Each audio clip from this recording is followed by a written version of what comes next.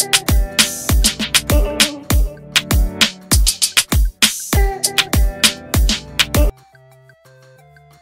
ธาสวนวิษณุเข้าใจคลาดเคลื่อนชิ้น 0.151 แม้หยุดปฏิบัติหน้าที่แต่โหวตนายกรัฐมนตรีได้พิธาโต้วิษณุเข้าใจคลาดเคลื่อนชี้หมู่ 151 ไม่เป็นอุปสรรคเข้าสู่กระบวนการโหวตนายกรัฐมนตรี แม้หยุดปฏิบัติหน้าที่ แต่ยังถูกเสนอชื่อได้เมื่อวันที่ 13 มิถุนายน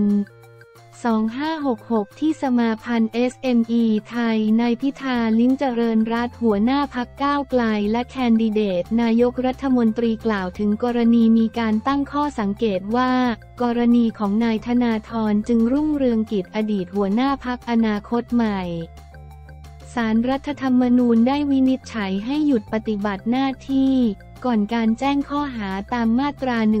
151 แต่ของนายพิธาได้มีการตั้งกระบวนการสอบก่อนที่จะส่งสารวินิจฉัยทำให้มองว่าสารอาจสั่งหยุดปฏิบัติหน้าที่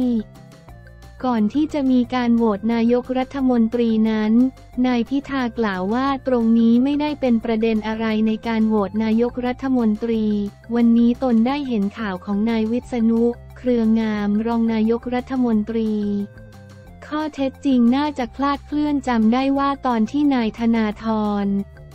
หยุดปฏิบัติหน้าที่นายชัยชิดชอบ เป็นประธานสภาแต่ตอนที่โหวตเลือกนายกรัฐมนตรีนายชวนหลีกภัยเป็นประธานสภาถึงแม้จะหยุดปฏิบัติหน้าที่ แต่ยังสามารถถูกเสนอชื่อเป็นนายกรัฐมนตรี ได้ไม่ได้เป็นไปตามที่นายวิษณุพูด ไม่ว่าอะไรจะเกิดขึ้นกับมาตรา 151 ไม่ได้เป็นอุปสรรคในการเข้าสู่กระบวนการโหวตเลือกตนเป็นนายกรัฐมนตรี คนที่ 30 ของประเทศไทย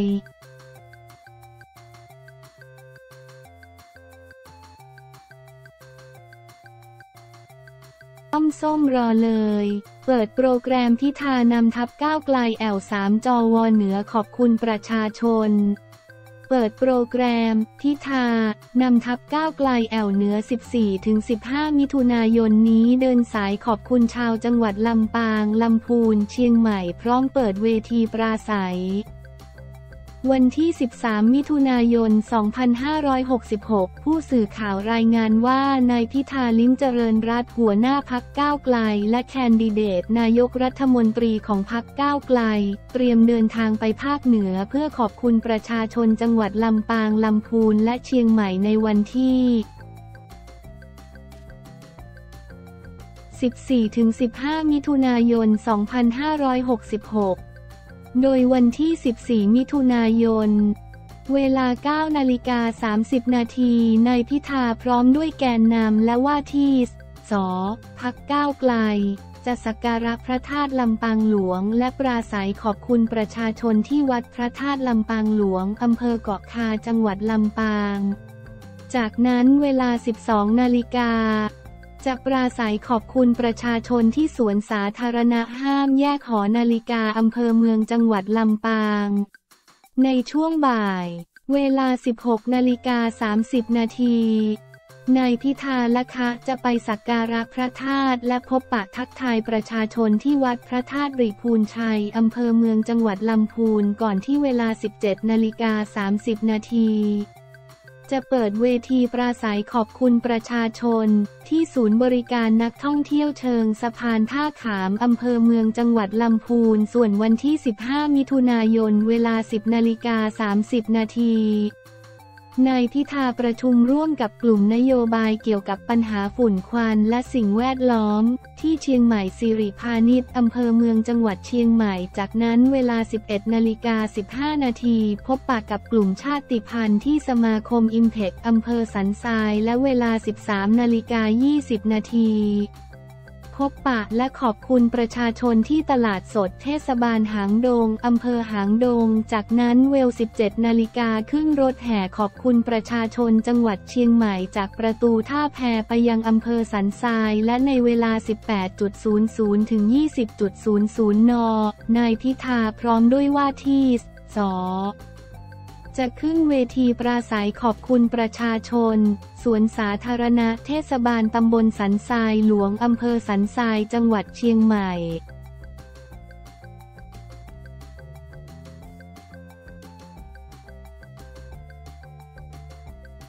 กลัวเสียหน้ากันชัยถามหลังคนจะช่วยดอยยอสี่ขวบบอกไม่ต้องเก็บตัวครูแล้วพร้อมอุปการะน้องเตยทุกทางผมตามเรื่องนี้ตั้งแต่ยังไม่เป็นข่าว กลัวเสียหน้า กันชัยตั้งคำถามหน่วยงานหลังคนจะช่วยบอกไม่ต้องแล้ว เพราะภาครัฐทำแล้ว ล่าสุดเก็บตัวครูไม่ให้พูดแล้ว หลังจากเมื่อวันที่ 12 มิถุนายน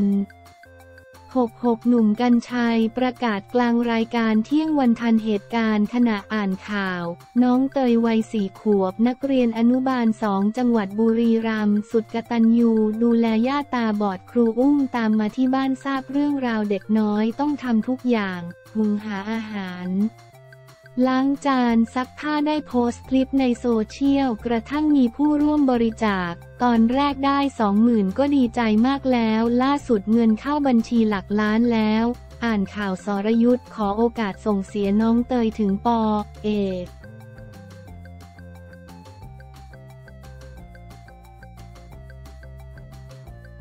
น้ำใจนับล้านบาทย่าลั่นพอแล้วเห็นใจคนบริจาค กัญชัยประกาศกลางรายการด้วยว่า ถ้าไม่มีใครอุปการะเดี๋ยวพี่ส่งเสียให้เองจนเรียนจบเลย เป็นเด็กน่าสนับสนุนแต่ที่แปลกใจครูอาจไม่เคยรู้เพิ่งมาเห็น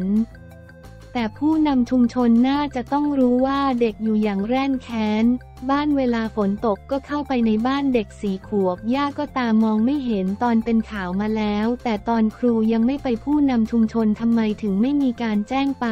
ทำไมไม่มีการไปดูลูกบ้านความแร่นแค้นของลูกบ้านเขาได้เงินสองหมื่นบาทดีใจมากไม่เคยมีเงินสองหมื่นด้านหมวย อริสราบอกว่าพี่หนุ่มนับถือหัวใจเด็กคนนี้อยากช่วยอยากส่งให้เรียนกันชายบอกเลยว่าใช่อยากส่งให้เรียนจริง ๆ เชื่อหลังมีข่าวออกมาคงมีคนยื่นมือไปช่วยหลายคน แต่ถ้ายังขาดเหลืออะไรยินดีทุกทาง ทุกรูปแบบนั้น กระทั่งวันที่ 13 มิถุนายน หนุ่มกัญชัยกล่าวในรายการข่าวเที่ยงวันทันเหตุการณ์ด้วยว่า เมื่อวานผมพยายามติดต่อครูอุ้ม ติดต่อญาติผมตามเรื่องนี้ตั้งแต่วันอาทิตย์ ตั้งแต่ยังไม่มีข่าว พอเป็นข่าวขึ้นมามีหน่วยงานเข้าไปดูแล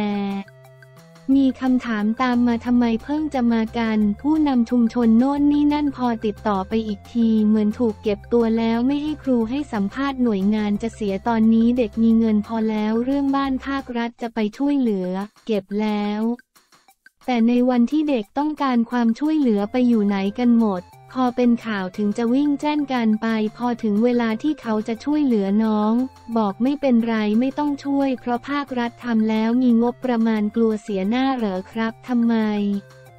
หลายคนอยากช่วยไม่ได้เหรอตลกนะ